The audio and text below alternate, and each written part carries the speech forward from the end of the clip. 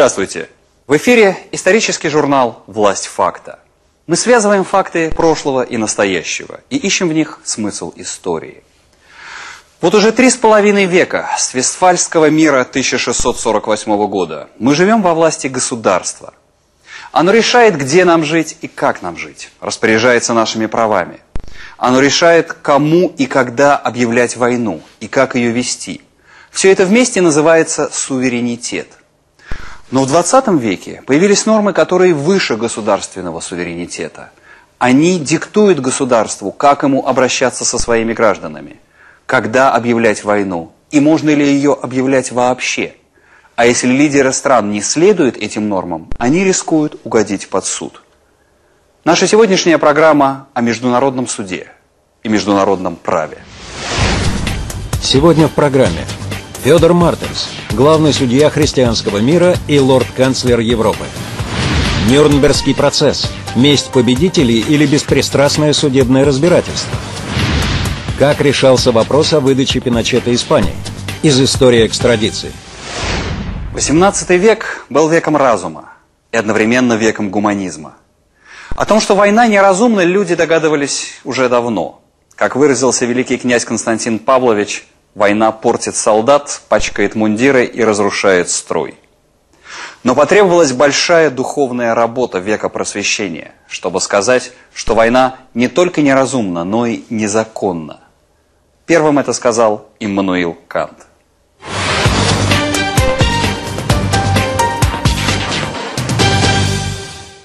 26 июня 1945 года в Сан-Франциско был подписан Устав ООН, организации, созданной для поддержания мира между народами. В основу документа легли мысли Иммануила Канта, изложенные им в трактате «К вечному миру». Работа немецкого философа вышла в 1795 году, когда в Европе наконец установилось хрупкое равновесие, которое, тем не менее, грозили нарушить новые войны – по мнению Канта, наличие больших регулярных армий само по себе является поводом для войны, и поэтому они должны исчезнуть. Всем странам философ предлагал принять республиканскую форму правления и жить по общим законам. Свой трактат Кант написал в форме проекта международного договора со статьями и положениями. Это была последняя работа великого мыслителя, его завещание человечеству.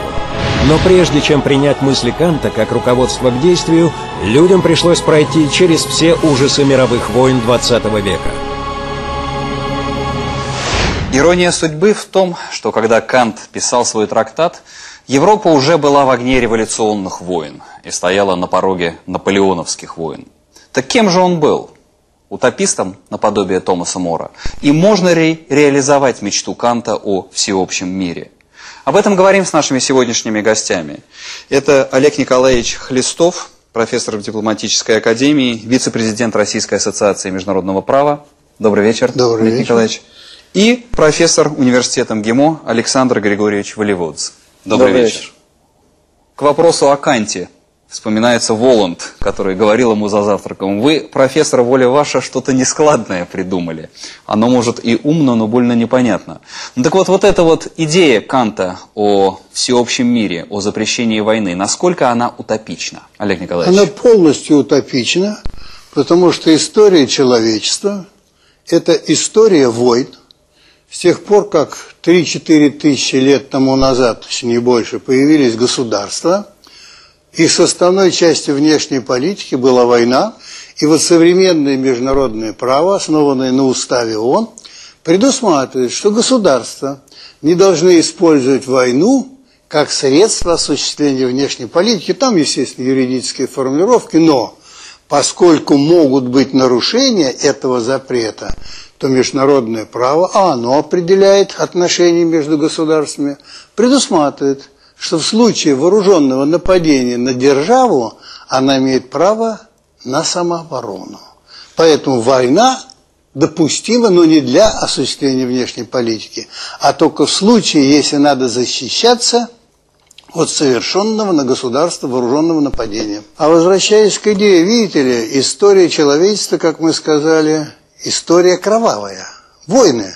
Каждые пять лет война. А если брать послевоенный период, после Второй мировой войны, то было около 90 вооруженных конфликтов, Правда, из них только 25-30 межгосударственных. Остальные – это внутренние вооруженные конфликты, которые происходят на территории в пределах государства. Есть определенные требования, чтобы признать их внутренним вооруженным конфликтом. И с этой точки зрения международное право и Совет Безопасности занимается тем, чтобы было меньше. Согласно вот нормам международного права, полагается во время внутренних вооруженных конфликтов применять правила ведения войны и не расстреливать, поставив к стенке захваченного повстанца, а применять к нему нормальные процедуры. То же самое на международной арене оно определяет и требует, чтобы государства соблюдали определенные правила поведения. И это огромное достижение человечества. Мне кажется, если право во многом пишется кровью, то международное право написано было большой кровью. И потребовались ужасы Второй мировой войны и Холокоста для того, чтобы впервые в истории лидеры государств сели на скамью подсудимых. Это был так называемый суд истории, Нюрнбергский процесс. По предъявленным мне пунктам обвинения не признаю себя виновным. Нет. По предъявленному мне обвинению виновным себя не признаю. Виновным себя не признаю. Они не признали себя виновными ни в начале Нюрнбергского процесса, ни по его окончании. Впрочем, материалы этого судебного разбирательства заставили вздрогнуть даже их. Альберт Шпеер написал в своих воспоминаниях я никогда не забуду один фотодокумент, изображающий еврейскую семью, идущую на смерть. Мужчина с женой и детьми на пути к смерти. Он и сегодня стоит у меня перед глазами. В Нюрнберге меня приговорили к 20 годам тюрьмы. Наказание положило конец моему гражданскому существованию. А та фотография лишила мою жизнь основы. Она оказалась долговечнее приговора. Почти год, начиная с 20 ноября 1945 года, длился этот процесс века. Ежедневно мир узнавал о новых и новых преступлениях верхушки Третьего рейха. Были зачитаны тысячи документов, представлены ужасающие вещественные доказательства, мыло из человеческих останков, выделанная для перчаток человеческая кожа, статуэтка из человеческой головы, которая во время войны веселила нацистских садистов, фотографии, кинохроника из лагерей смерти и показания пострадавших. В результате Нюрнбергского процесса виновные понесли наказание. 12 смертных приговоров, 3 пожизненных заключения. Четверым обвиняемым дали от 10 до 20 лет лишения свободы. Трибунал признал преступными организациями СС, СД, Гестапо и руководящий состав нацистской партии. Это не было спланированной местью победителей. Это был самый настоящий суд с внимательным рассмотрением дела с обвинителями и адвокатами. Суд, который вынес в Нюрнберге три оправдательных вердикта. Суд, который не признал преступными организациями нацистский кабинет министров, генеральный штаб и верховное командование вермахта. Таких беспристрастных судебных решений советская сторона не ожидала. Выступая на этом суде от народов, Союза Советских Социалистических Республик я считаю полностью доказанным все обвинения, предъявленные подсудимым. Во имя памяти миллионов невинных людей, загубленных бандой преступников, я призываю суд вынести всем без исключения подсудимым высшую меру наказания – смертную казнь. С ним согласился и английский обвинитель. Выражая мнение правительства своей страны, он сказал, «Эти люди убили 12 миллионов человек. За такое преступление их можно было бы расстрелять без суда и следствия». Но Нюрнбергского процесса могло и не быть. Черчилль не раз заявлял, что нацистская верхушка должна быть казнена без суда. На что Сталин однажды возразил. Люди скажут, что Черчилль, Рузвельт и Сталин просто отомстили своим политическим врагам. Рузвельт, услышав, что советский лидер настаивает на суде, в свою очередь потребовал, чтобы процесс не носил слишком юридический характер. За соблюдением внешних демократических судебных процедур в Нюрнберге следил Советский Союз. Именно наша сторона в споре с англичанами и американцами настояла, например, на том, чтобы дать обвиняемым возможность сказать последнее слово. Нюрнбергский процесс подвергали критике за отсутствие принципа презумпции невиновности – за то, что судопроизводство велось от лица потерпевшей стороны и не предполагало нейтрального отношения. И тем не менее, его значение трудно переоценить. С Нюрнбергского процесса началась история международного уголовного права. Он не только признал военную агрессию тягчайшим преступлением, но и создал прецедент подсудности высших государственных чинов Международному суду. Так действительно здесь началась история международного уголовного права? Если сказать кратко, международное уголовное право – это поздно рожденный ребенок международного права в целом. Одна из главных заслуг как раз Нюрнбергского трибунала, лиц, которые разрабатывали его устав, значение приговоров Нюрнбергского и за ним Токийского трибунала состоит в том, что на этих трибуналах впервые проявился принцип индивидуализации уголовной ответственности лиц за преступления, являющиеся тягчайшими нарушением общепризнанных принципов и норм международного права, как раз индивидуальная ответственность. Еще и до Лейпцигского процесса была попытка, и первая попытка была, когда антинаполеоновская коалиция переговаривала между собой, что делать с Наполеоном, и сослали его да, на острова. Ну, да. Но не дошло до суда. Вторая попытка, действительно здравая попытка учреждения международного, некого международного судебного присутствия или суда международного, была заявлена в Версальском мирном договоре и в ряде договоров, которые сопутствовали ему. Но это были попытки, которые, знаете, в теории, можно сказать так, создают некую основу в развитии международного уголовного права, и шаг за шагом пришли вот к тому, что произошло в Нюрнберге. Раньше ответственность какая была? Материальная.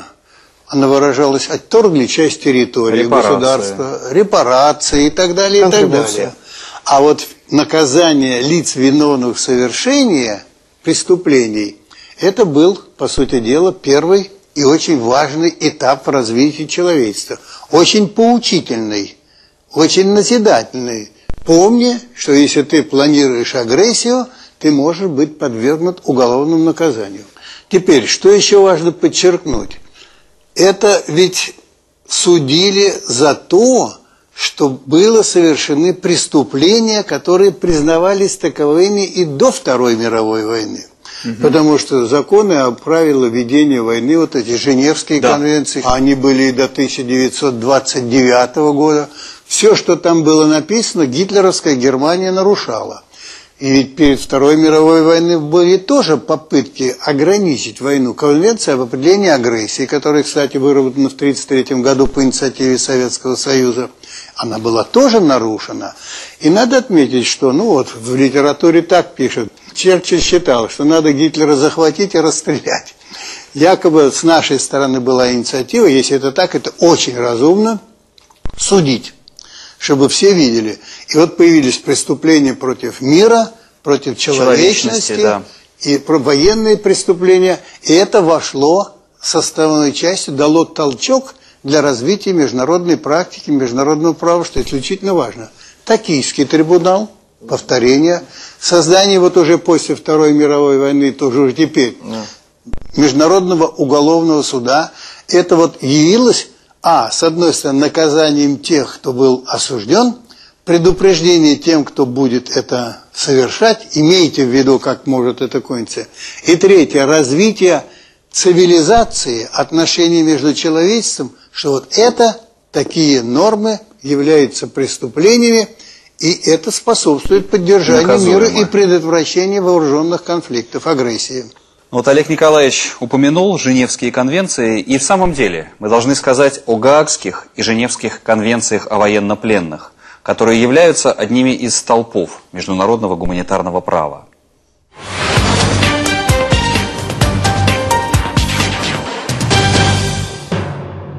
В июле 1929 года в Женеве на конференции 47 государств было достигнуто соглашение о содержании военнопленных. Конвенция 29 года запретила репрессии в отношении пленных и утвердила их право на уважение личности и чести. Как показал опыт Второй мировой войны, в этой конвенции не хватало многих пунктов, и в 49-м было принято новое соглашение. В нем уточнялось, право на человечное обращение имеют абсолютно все пленные, независимо от расы, цвета кожи, религии и происхождения. Советский Союз в годы Второй мировой войны придерживался собственных законов о военнопленных и присоединился к Женевской конвенции только в 1954-м. А когда вообще появляется международное гуманитарное право? Это вот феномен 20 века, массового общества? На протяжении всей истории война велась так, как кто хотел.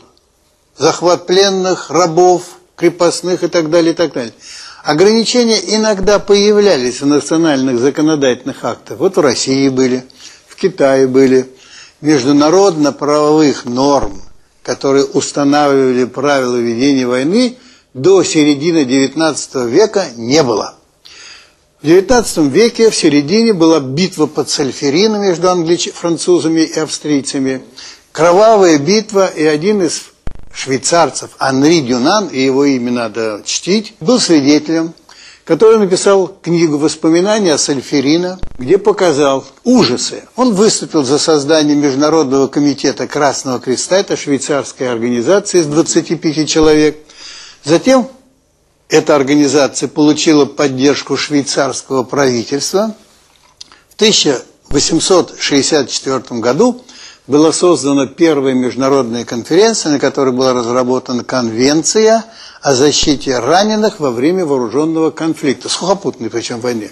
Ну, в некоторых странах, и вот у нас, в частности, мы тоже говорили, что у нас во время Крымской войны была крестовоздвиженская община сестер милосердия, которая тоже что-то выполняла, но создание норм мы, конечно, обязаны тому, что была инициатива швейцарского комитета. Что касается Гаагских конвенций о правил ведения сухопутной войны, то здесь роль важная России. Ведь недаром фактически один из первых документов после конвенции 60, 1864 года была декларация о запрете разрывных пуль. Сначала как Да, декларация, да. даже не как конвенция, а как декларация. Многие страны, Россия не инициатор, э, Бисмарк, который созывал эту конференцию, родилась эта декларация. Все понимали, что э, запрещенное оружие нужно ставить под некий контроль и запрет.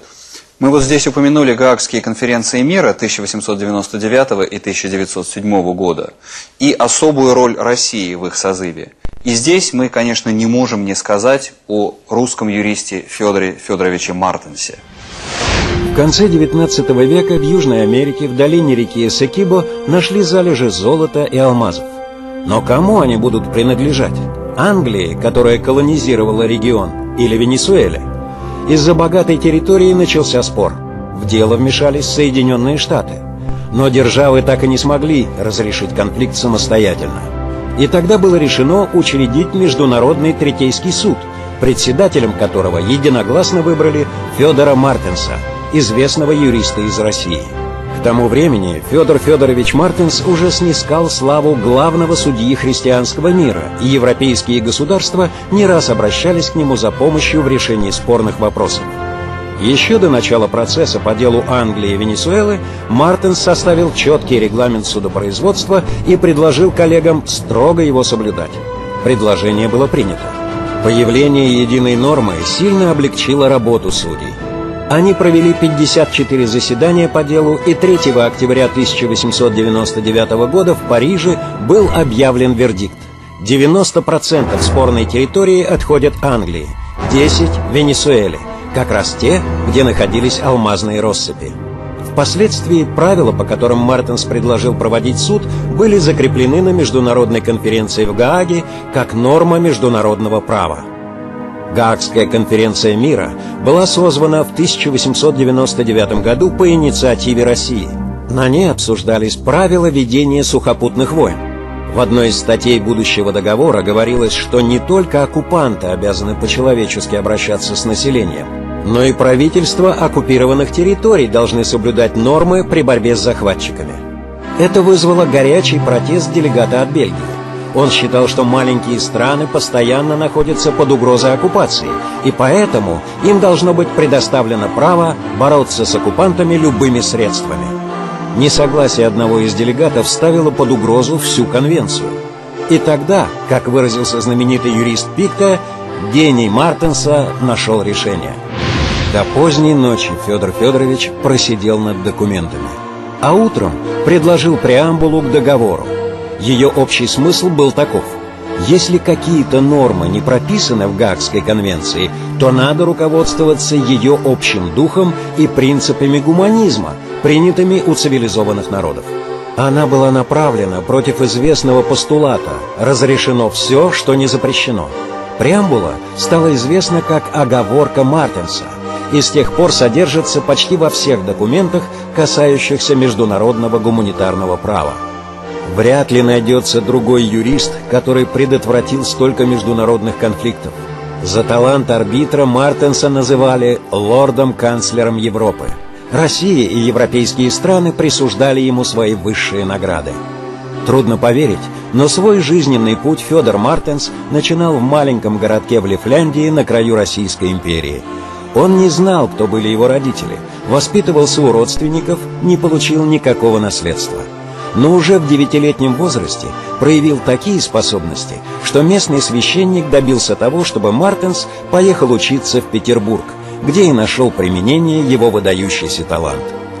Сердце Мартенса остановилось 7 июня 1909 года.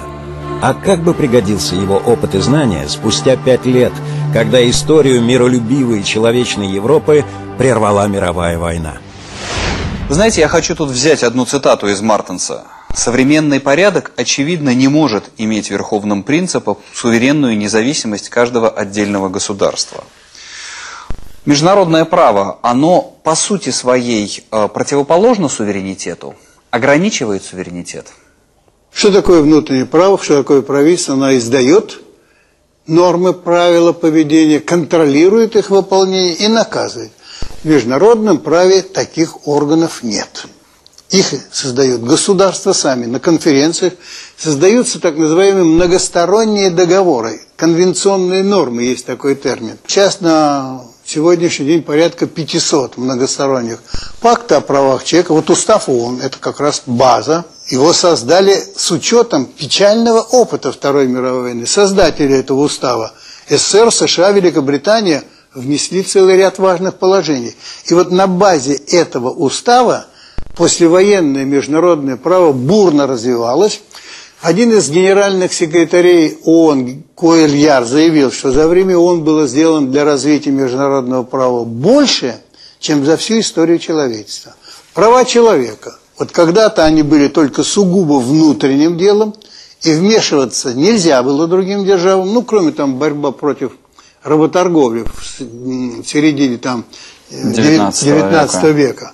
Ныне, хотя права человека регламентируются внутренним правом, но есть порядка 60-70 международных договоров, которые устанавливают стандарты обращения с населением. Кто следит за применением международного права? Где та инстанция? Александр Григорьевич. Взаимодействие норм международного права и внутригосударственного права – это одна из проблем. Проблема проблем.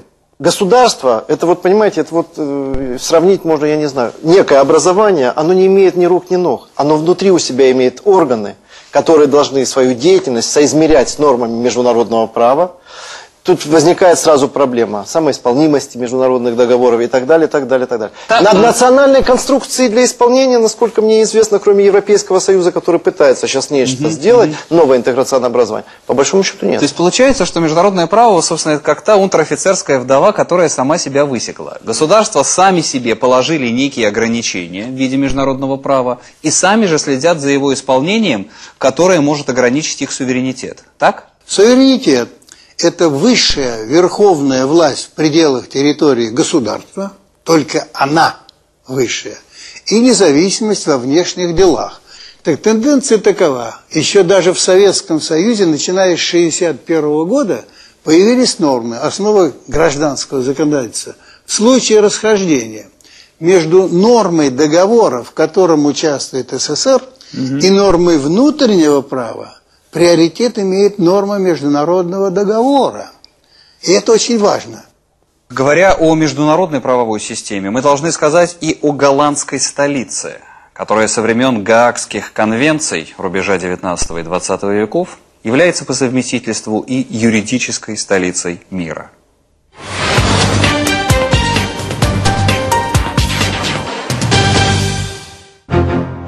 20 веке Гаага стала столицей международного правосудия. Желая внести свою лепту в укрепление мировой стабильности, американский промышленник Эндрю Карнеги построил здесь Дворец мира. В 1913 году здание было закончено, и в нем разместилась постоянная палата Третейского суда, организация, решающая международные споры. В 1946-м у палаты появился сосед – Международный суд ООН. Сегодня, помимо кабинетов и залов для заседаний, во Дворце мира располагается библиотека и музей. Там же в Гааге находится и штаб-квартира Европола, там же и Международный трибунал по бывшей Югославии. Вот вопрос по трибуналам. Трибунал по Руанде, трибунал по Югославии. Это прямые наследники Нюрнбергского процесса? Да, Нюрнбергский трибунал подтолкнул создание трибуналов для привлечения к ответственности лиц, виновных в совершении определенных преступлений. Когда в ну, Токийский трибунал, мы знаем, судил военных преступников японских. Дальше, в 99 году был выработан Международный уголовный трибунал, где записано в его, так сказать, документе, что он рассматривает военные преступления, преступления совершенные и так Рим- далее. Римский статут. Да, римский статут, который, значит, был выработан и который уже вступил в силу и действует, потому что уже порядка 50-60 человек, совершивших военные преступления, например, в Судане, направлены, переданы для привлечения к ответственности. С точки зрения трибуналов, о которых вы говорите, э, трибунал по бывшей Югославии явился- первым после Нюрнбергского и Токийского суда таким международным судебным учреждением уголовной юрисдикции. Но здесь нужно совершенно правильно еще, мне кажется, один акцент расставить. Что дал новое, по крайней мере, Югославский трибунал? Элементы состава преступлений он дал, которые положили основу статуту, Римскому статуту Международного уголовного суда. Нормально работающий механизм от начала до конца, по большому счету. Надо вот эти трибуналы рассматривать очень трезво. Перед войной конвенции о борьбе с терроризмом не ратифицировали. После войны до 1992 года тоже ничего почти не выработали. Процесс сложный, острый политический, и право перемешивается с политикой. Да, эти все процессы имеют недостатки. Поэтому, например, мы до сих пор не стали участниками Международного уголовного суда. Но как тенденция, как процесс, это безусловно. На это надо смотреть позитивно. А вот вы сказали, мы не присоединились к Международному уголовному суду. Смотрите, ни американцы, ни Россия, ни Китай, основные игроки, почему они не присоединяются? По вполне приятным причинам связывают руки. Опасно. Поэтому крупные державы, они 20 раз думают, а как это выйдет, как, это, а как для них это повернется. Американцы фактически, они сейчас самый такой большой и грубый суверен в современном мире, могут позволить себе суверенитет. Но эта терминология путает. Самая мощная держава, которая многое может себе позволить, даже ограничивая Эк- Экстрадиция, смотрите, правом. американцы же, они никому не позволяют экстрадировать, да, у них, они со всеми сделали двусторонние договоры, что не американского согласен. гражданина невозможно выслать. Его никак- Категорически не согласен с вами. США, пожалуй, может быть на сегодняшний момент единственное, которым на законодательном уровне и на уровне судебной практики не запрещена экстрадиция собственных граждан. Исходя из соответствующих норм Конституции, указано, что США осуществляет эту функцию исключительно на основе принципа взаимности. Что это означает? К примеру, Российская Федерация просит выдать гражданина США для уголовного преследования в Россию.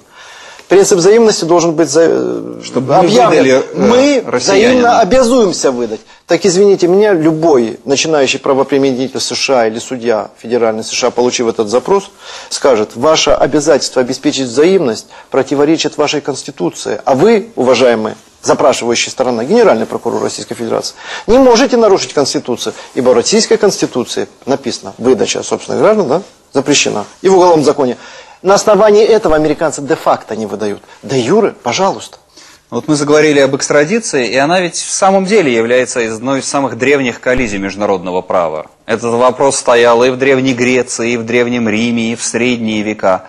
С особой остротой в эпоху индустриализации, транспортной революции. А сейчас, в эпоху глобализации, экстрадиция поистине не знает границ.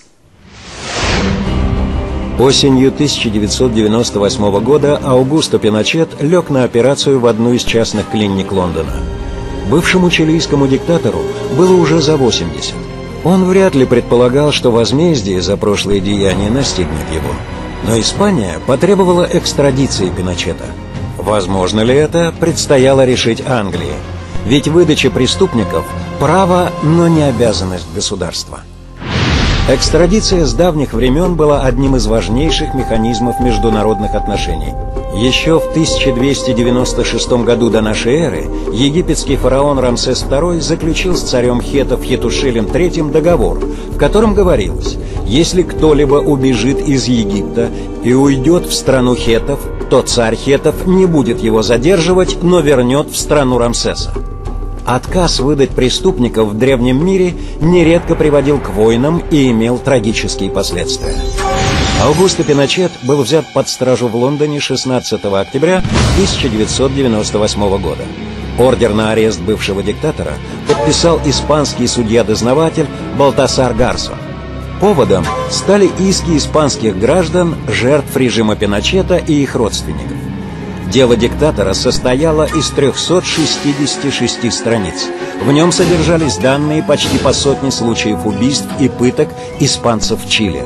Палата лордов, высшая судебная инстанция Соединенного Королевства, признала арест правомерным. Долгие века выдача преступников была делом единичным и основывалась на воле правителей и внутригосударственных документах. Конце 18-го, начале 19 веков ситуация резко изменилась. В этот период было подписано множество международных соглашений о выдаче преступников. Инициатором большинства выступила Франция. Это ей мир обязан многими существующими ныне принципами экстрадиции. Впервые о невыдаче политических преступников упоминалось в трактате между Францией и Швейцарией в 1831 году. Предоставление политического убежища стало нормой для большинства европейских стран. Однако это не помешало конфедерации в 1872 году выдать России революционера Сергея Нечаева, вина которого, правда, была отягощена убийством. Англия строго придерживалась принципа не выдавать политических преступников. Отказом ответила и на требование правительства Николая I передать России декабриста Николая Тургенева, которому на родине грозила смертная казнь. Слава Англии как самого безопасного политического убежища Европы пошатнулась в тот день, когда арестовали Аугусто Пиночета. Впрочем, похоже, сам бывший диктатор нисколько не сомневался в благополучном для него исходе дела. Генерал заявил тогда – с помощью Всевышнего я вернусь домой в Чили, где надеюсь закончить свои дни в мире и спокойствии. Граждане моей страны пришли к согласию по поводу прошлого, и только они могут быть моими истинными судьями. Не надо открывать старые раны. Европейская конвенция об экстрадиции была принята в Париже 13 декабря 1957 года. В 1999 ее ратифицировала и Россия. Правда, с оговорками, которые запрещают выдачу российских граждан иностранным государствам.